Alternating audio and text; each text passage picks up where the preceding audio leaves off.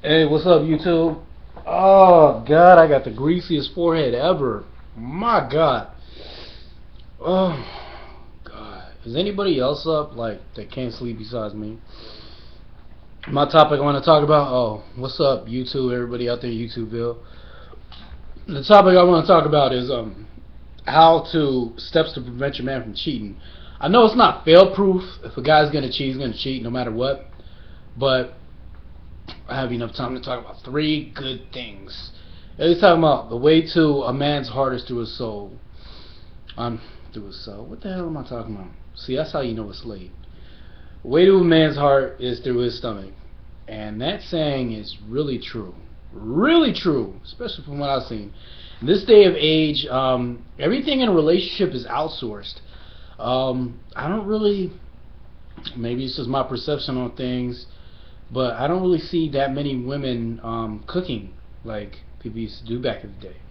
Um, cook something that he really likes, something that's really good, something that he doesn't have to feel like has to be outsourced, like the fast food chain down the street or whatever. Put some loving on the table, like some catfish, um, some cornbread, something that he really likes. Um, his fav- find out what his favorite food is, his favorite meal.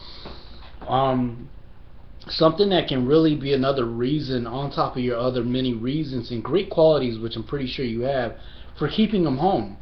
Um, I'm pretty sure keeping them home isn't the only thing that you're worried about too, as far as like preventing a guy from cheating at all. Like I said, if he's gonna cheat, he's gonna cheat. There's nothing you can do to stop it, but these help out a whole lot. Um, things that are neglected as far as like cooking. Another thing that I'm starting to see, which isn't really a neglect, it's probably a something that's too much, like smothering, um, not not letting him do his own thing. A lot of women, I'm starting to see that a lot too, is like keeping a man caged up, not letting him have the guy time with his friends and stuff like that too. That's another big thing. Not letting him get the guy time. Um, sending him 45 texts, three voicemails. I'm worried about you. You've been out past one o'clock you know, this and that. I'm pretty sure it's um, courteous for a man to say, hey, I'm still going to be out, blah, blah, blah. You know, if he's a good man, he's going to send you that past 1 o'clock text. Or whatever time it is that he said he'd be home or whatever, and he's going to send you to, prevent you from being worried. But there's a difference between that and smothering them. Oh, where you going to be at? Who you going to be with? Blah, blah, blah. When I check your phone last, and that's another thing, too. Smothering, being all up in his life so much that he doesn't feel like he has a break or time enough to miss you. Allow your man some time to miss you, um, especially when he's away from the home.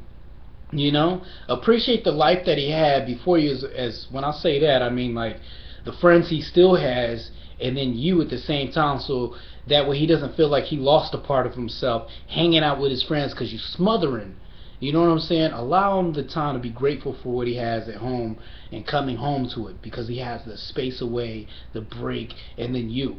You know what I'm saying? Another thing too is putting the P in the V. What I mean by that is um doing what makes your man happy in the bedroom. To me that's a big thing. Like the whole sex thing or whatever. Like I know there's women that are afraid to, that not afraid, but just don't go down on their man. But if your man likes that, I mean, I'm not only talking from experience, but just from similar stories that I've heard from men. Um, the woman won't go down on them. But then when they try to talk the women on, to go down on them, they have the issue of a woman just oh, oh, I don't, I don't know, is this, oh, this is so gross. And then want to give the commentary, the negative commentary while you're doing it. You don't want to have no effort to try to go ahead and learn how to be a better person that goes down. Or whatever it is that he likes, you know, to go ahead and just do that. Um, that compromising situation where you, you, you don't even want to compromise. You, what you do instead is you opt out and give the worst. Um, you know what I'm saying? You go down to your man, you get the worst job possible, so that way you don't have to do it again. That ruins everything. That's another thing that a man would outsource too, because with one woman will do at home, pretty sure you know the cliche thing. Another woman's gonna do same thing. Like I said, cooking. That that could be something that's outsourced too. Don't have them go buy fast food all the time. You know what I'm saying? Cook a good meal. Make give him a reason to put some love in his stomach. You know what I'm saying? He'll he'll reciprocate the same love. Give him the free time that he has. L- allow him the space. And another thing too, put it down in the bedroom, ladies. That's don't be stingy. Don't be selfish about that. I mean, if he gives, give two. But like I said, all men are different, but there's a 90 percentile that are out there that are dogs. 90% of guys out here are just straight dirtbag dogs.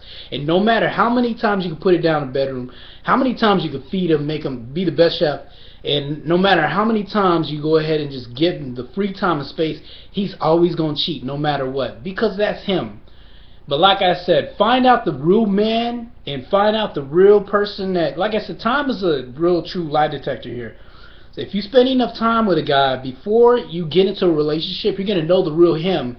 You're to know he's a cheater before you're in a relationship with him. So if you're in a relationship with him and that slipped by the first four months, it's kind of hard to hide the fact that you're a cheater in the first six months. I'm just saying.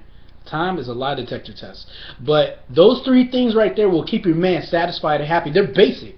The simplest of the simplest things that are basic.